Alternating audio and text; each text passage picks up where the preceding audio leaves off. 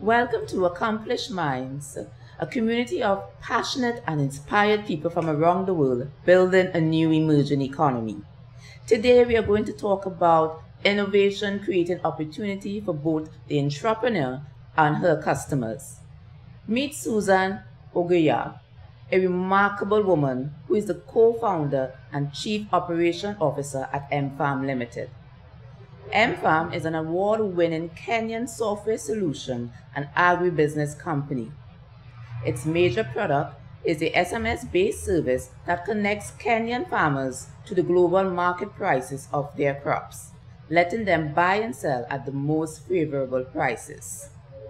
Welcome, Susan, to Accomplish Mine, and thank you for joining us all the way from Kenya. Thank you very much, Lorraine. Laurina. Thank you yeah. so much. So, tell us a little bit about yourself. What's your background? I'm from the western side of Kenya, uh, where mostly fish are. That's where most of most of the fish in Kenya comes from. Uh-huh. And um, I came to Nairobi because of studies, education. And if you look at where I come from, it's a rural area. Uh-huh. So our parents keep on sending us off to the cities to get better education. Yes. So um, I got into technology. I got my interest while I was in high school. Uh-huh. And then when I came to the university, I took it up. I did bachelor's in business information technology majored mostly in IT, minored in the business sector. Yes, that's basically Susan. I'm 25 years old right now. Okay. That's great. You, you have yes. taken a social and market problem, a lack of information, yes. and you found a solution. Tell us about MFarm. MFarm is two years old right now, but I would say one year in business. How we started is that me and two of my colleagues, who are the co-founders of MFarm, uh, came up with this idea from magazines, journals, newspapers of Kenya, and farmers used to complain in the newspapers uh, that, first of all, they they lack the uh, the there's a difference between what is happening in the farm and what is in the market, and second of all, they had access to expensive farm input. And third of all, they were wondering why middlemen only come to them during harvest and not during uh, planting time. So all the three of us have a background in technology, and we decided to come up with this idea. And later, we, once this, we researched the idea and looked at other organizations that have done it and their failures, and from then we saw, okay, then we'll approach this at a particular manner. So, of course, SMS is not something that is uh, different, like it's not something new in Kenya. People have, already used it. Mm. And we said, okay, the simplest thing that we can do is use a tool that a farmer has that can only be used for texting and calling and give them more value add on top of it. So that's the background of MFarm. And yes, we got into a competition and made this from a theory to something that's actually being executed currently in six different regions in Kenya. Congratulations on your company being two years old. So, what yes. were some of the challenges you had faced in the early days of MFarm? Were there any challenges? Of course there were. First of all, the thing is that we take it uh, when we do applications, we think of it from our own end and forget that the users are going to use it at the long run. Mm-hmm. So one of the many things you assumed is that yes, they've been using SMS, but we didn't know how they've been using it. So one of the challenges was we had to go down to the field and train the farmers how to use the SMS. So illiteracy was one of the major things that came through our way. The other thing was, of course, another challenge is when you go to the fields and we are city girls, you don't know what farmers go through. So of course you have to be with them, uh, pivot with the product with them so that they can really understand why you are here for them. So the trust issue was another thing. So that's why we had to sit down in the field for almost six months to actually get them to use it. The other issue is, of course, the fact that we are women in the community, and they would wonder why would a woman come and train you how to use a mobile phone. So we had to mention to them that we are kids of farmers, and we started with farming and uh, with money for farming. So we came back to show you the value of farming. So from there, they got to understand that we're just the children who are coming back to give back the knowledge they got from uh, the cities and enhance their life in the rural areas. So those are the major three challenges we came across and we tried to tackle them through the six months we were in the field. So you are part of the East Africa technology boom. Can you tell us a little more about that? Because I'm reading a lot about that, you know, on BBC and articles. Yes. you give us some more explain on that first? Yes. So as you know, agriculture is like uh, the food basket of Kenya. Mm-hmm. So and also in Africa as well, agriculture is known as to have like at least 50% of the uh, of the economic growth of a country. So us getting into this kind of sector shows that it's something that has actually been needed and people wanted to come up with such a solution to reach the people in the rural areas and try to connect them and also make our country thrive out of its agricultural resources. So I would say it's not something that is new. It's just something that people have been wanting to have access to. But thank, uh, thank technology that has come in, and people are finding ways on how to make this more interesting to the new, uh, the young population that is coming up, so that they can strengthen the economy of, our country through the agricultural scene. So I would say it's the niche in the market in Africa, agriculture being the top uh, sector helping the growth of an economy of a country. And yes. it is using the technology to help the agriculture sector move forward.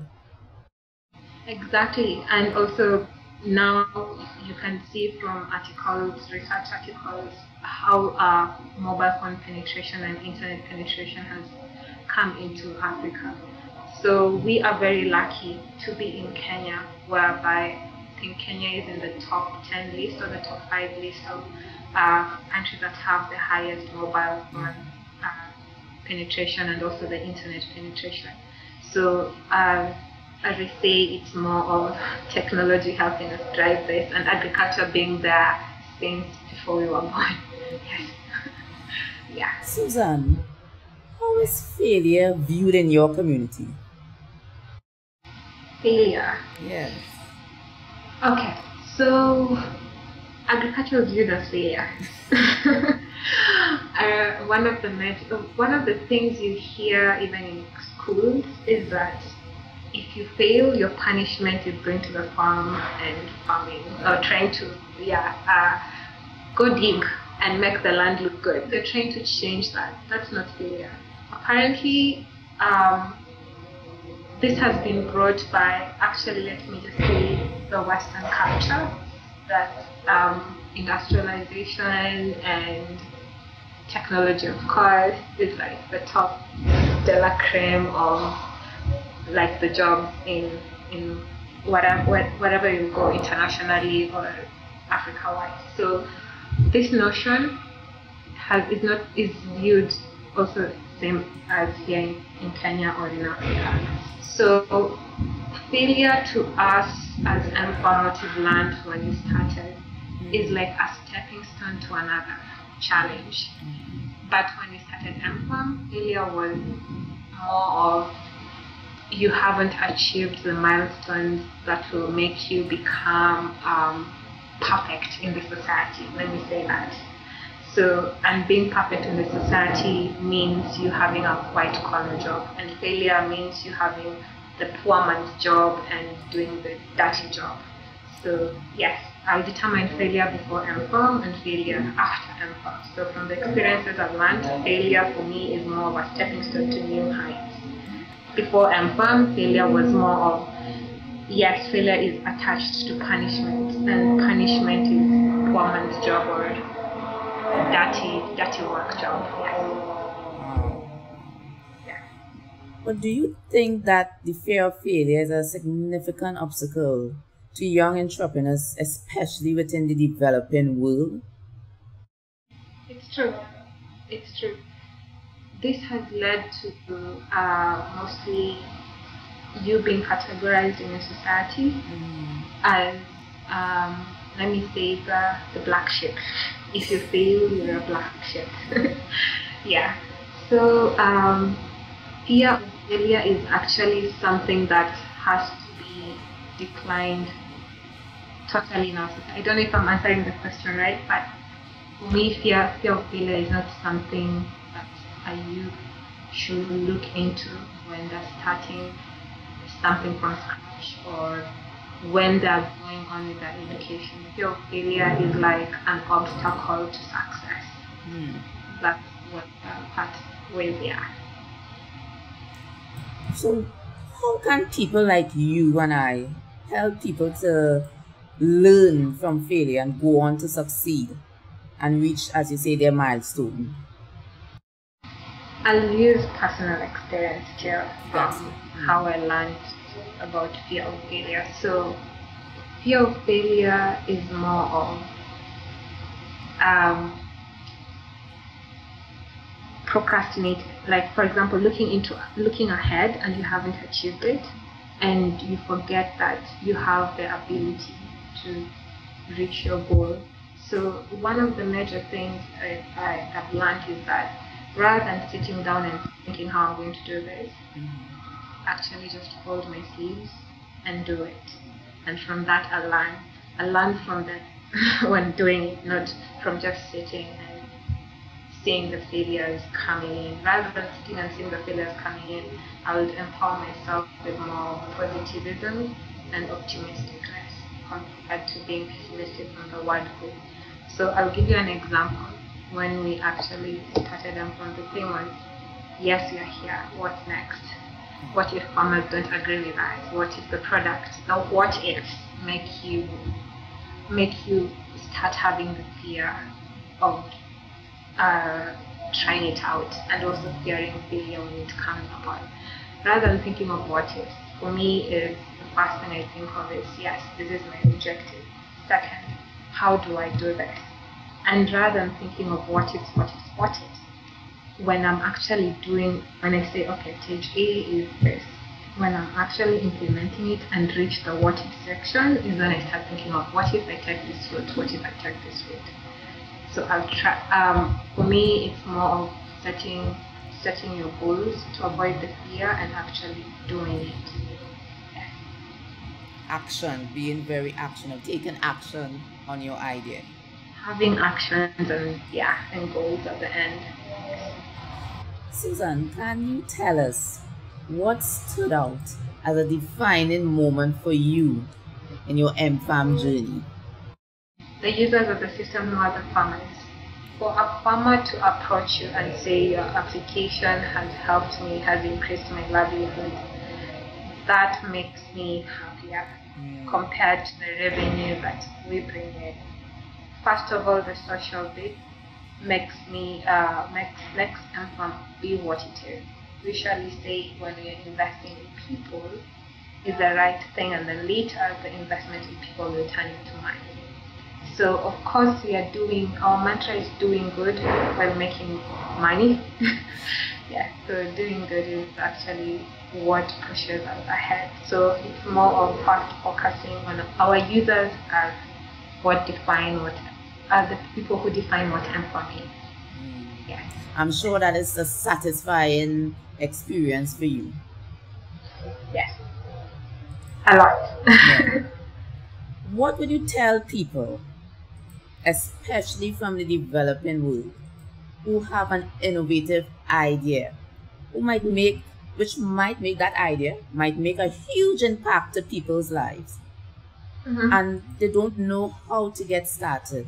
What piece of advice would you tell that individual? Do it. Just do it. Stop thinking. Do it. You said you're going to do this, okay. do it. What kills us is the fear of failure. But if you just do it, then you have a way of getting away from the fear of failure. Those are the three words. Just do do it. Yes. Susan, so what are your plans? What are the plans for MFarm future? Plans for MFarm future is to expand to uh, East African and let me say in five years time, want to expand to East African countries and uh, be able to have a commodity exchange platform.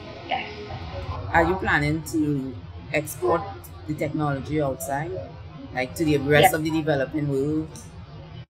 If, if we are expanding to East Africa, it means that MFarm system will be also used in those East African countries so that they can see the value that the Kenyan farmers have been achieving.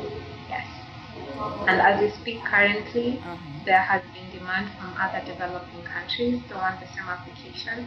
But the thing is that when you're planning to move to other countries, you have to ensure that your product is stable and usable in your own country, and then you can move it to other countries when it's actually actually working. Yes. Yeah. So what uh, our our main objective is to expand MFarm to other East African countries. Yes. Well, I wish you success with that expansion drive. And I must, I'm, I'm so thrilled that you took time out to interview with me this morning on Accomplished Minds. And thank you so much, Susan. You're welcome. If you'd like to see more, subscribe to accomplishedminds.com.